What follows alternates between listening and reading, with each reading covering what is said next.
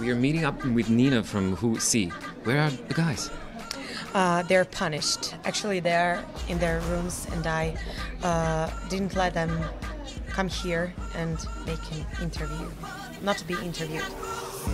They were so, they were so bad.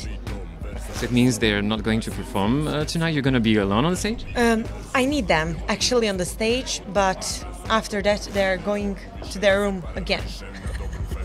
I'm sure that you, as you're a musician, you like Swedish music.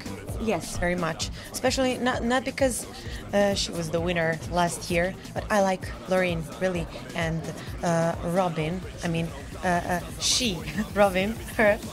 Uh, I like her music very much.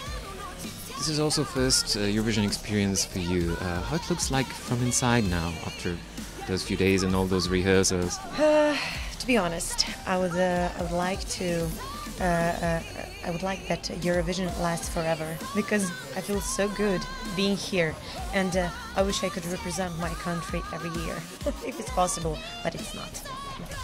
Does it mean if whatever happens tonight that you could actually attend Eurovision again, maybe in some different arrangement? Yes, uh, I'm trying to figure out something for next year. I know it's a hard question, but uh, still, um, what do you expect that it might happen tonight? Uh, well, I hope that we'll get into final, but uh, I don't expect that because that doesn't uh, depend only uh, on us, but uh, there are um, many, many different factors that, that, that, that, that, that, you know what.